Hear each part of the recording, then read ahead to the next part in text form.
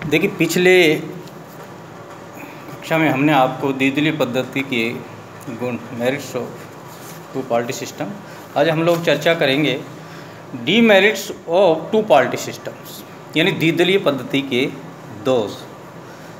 द्विदलीय पद्धति में अगर गुण हैं, हमने काफ़ी चर्चा की थी भाई, इसमें बहुत अच्छी सुविधाएँ हैं, अच्छी है तो इसके अंतर्गत कुछ दोष भी हैं. जैसे सबसे पहले मतदान की स्वतंत्रता से। देखिए, किसी भी देश की लोकतंत्रात्मक व्यवस्था में, चाहे वो संस्थात्मक शासन व्यवस्था हो, चाहे अध्यक्षात्मक शासन व्यवस्था हो मतदाता को स्वतंत्रता होनी चाहिए। द्विदलीय पद्धति में केवल दो ही राजनीतिक दल होंगे, जैसे अमेरिका में है या तो डेमोक्रेटिक है, या रिपब्लिक पार्टी है। या इंग्लैंड है, जहाँ पे अनुदार दल है, मजदूर दल है। तो मतदाताओं के सामने एक सीमित मतदान की व्यवस्था है कि या तो उसको देंगे या उसको देंगे। यानी जबकि बहुदलीय व्यवस्था के अंतर्गत किसी मतदाता को, आज हमारे देश में भारतीय लोकतंत्रात्मक व्यवस्था में बहुदलीय व्यवस्था है। बहुत से लोग ऐसे हैं जो कांग्रेस और बीजेपी को पसंद नहीं करते। जैसे पश्चिम बंगाल में लोग कम्युनिस्ट सरकार को 35-40 साल से वहाँ पे सत्ता में ला रहे हैं। इसी प्रकार जैसे साउथ में तमिलनाडु है, वहाँ द्रुमक और अन्ना द्रुमक की सत्ताएँ रहती है। कांग्रेस और बीजेपी का बहुत ही कम अस्तित्व तो जो राष्ट्रीय राजनीतिक पार्टियाँ हैं, कई बार क्षेत्रीय पार्टियाँ होने की वजह से मतदाताओं को स्वतंत्र और उनके हिसाब से उसको सरकार में लाते हैं। हमारे देश की लोकतंत्रात्मक व्यवस्था में बहुत से प्रदेश ऐसे हैं। हमने आपको उदाहरण दिया, जैसे तमिलनाडु है, पश्चिम बंगाल है, बिहार है, यूपी है, जहाँ क्षेत्रीय, जैसे बिहार में राष्ट्रीय जनता दल, नीतीश कुमार की जेडीयू, उत्तर प्रदेश में मायावती की बहुजन समाज पार्टी और मुलायम सिंह की समाजवादी पार्टी, यानी कांग्रेस और बीजेपी से ज़्यादा ये सत्ता में रही। तो बहुदलीय प्रणाली में मतदाताओं को बहुत अधिक स्वतंत्रता है कि अगर वो किसी दोनों राजनीतिक दलों को पसंद नहीं करता है, उसकी विचारधारा मेल नहीं करता है तो दूसरे को भी चॉइस कर सकता है। तो यहाँ द्विदलीय में मतदाताओं को एक स्वतंत्र सीमितता हो। इसके अलावा राष्ट्रीय विभाजन। देखिए, कई बार ऐसा देखा गया है कि दो विचारधाराओं के आधार पर राष्ट्र का विभाजन होने की संभावना ज़्यादा होती है। जबकि बहुदलीय व्यवस्था के अंतर्गत अनेक राजनीतिक दल होने की वजह से ये संभावना कि दो विचारधाराओं के आधार पर नहीं, क्यों? अनेक विचारधाराएँ होती तो यानी कि यहाँ विभाजन की संभावना बहुत राष्ट्रीय विभाजन की राष्ट्रीय एकता और अखंडता को खतरा उत्पन्न होने की बहुत कम समस्या होती है, बहुदलीय व्यवस्था। जबकि द्विदलीय व्यवस्था में दो ही राजनीतिक दल होने की वजह से या दो ही विचारधारा होने की वजह से राष्ट्र के लोग दो भागों में विभाजित हो जाते हैं, जैसे इंग्लैंड है, अमेरिका है। तो यानी कि राष्ट्रीय विभाजन की संभावनाएँ, जो खतरा है, वो भी द्विदलीय पद्धति के अंतर्गत है बहुमतीय निरंकुशता कई बार क्या होता है, द्विदलीय प्रणाली के अंतर्गत कि अगर एक राज, दो राजनीतिक दल है, एक सत्ता में और सत्तारूढ़ राजनीतिक दल को बहुमत, आवश्यकता से ज़्यादा बहुमत प्राप्त होता है तो उसमें एक निरंकुशता की भावना होती है। आज देख लीजिए, हमारे देश की लोकतंत्रात्मक व्यवस्था में जैसे मोदी जी की सरकार को काफ़ी बहुमत है।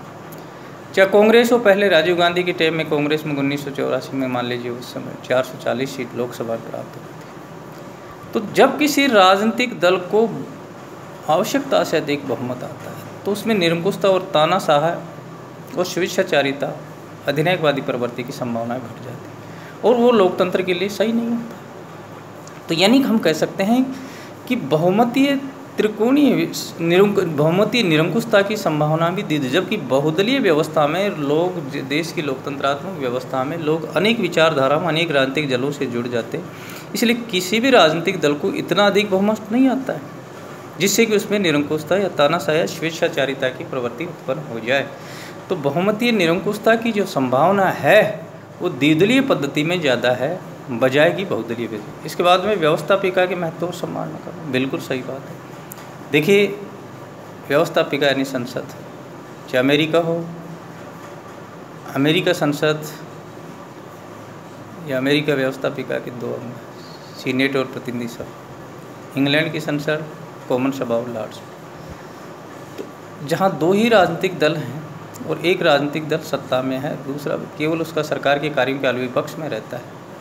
तो व्यवस्थापिका में एक तरह से जब स्पष्ट बहुमत प्राप्त हो जाए तो अविश्वास की प्रस्ताव और व्यवस्थापिका के बाद जो सबसे महत्वपूर्ण दिख सकती है कि किसी देश संस्थात्मक शासन व्यवस्था में कार्यपालिका के खिलाफ अविश्वास प्रस्ताव पारित कर सकती है।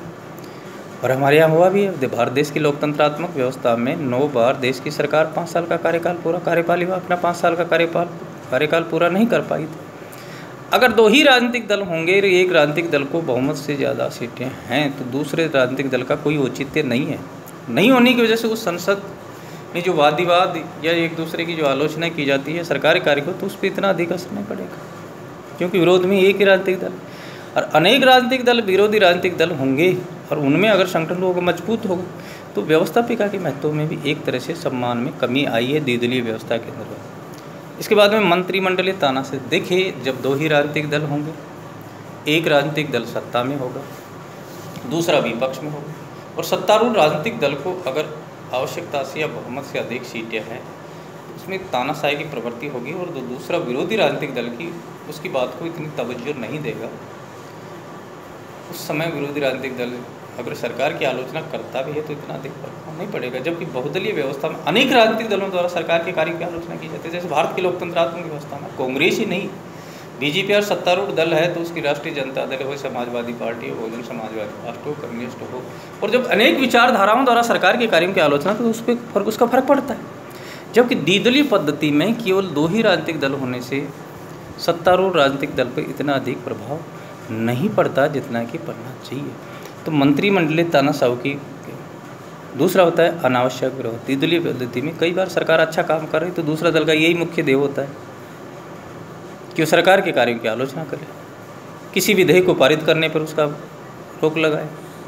बहुदलीय व्यवस्था में ऐसा नहीं होता है। अगर सरकार अच्छा काम करती तो अगर एक राजनीतिक दल विरोध कर रहा है तो दूसरा राजनीतिक दल का उसका, जैसे बहुत सी बार ऐसा हुआ है।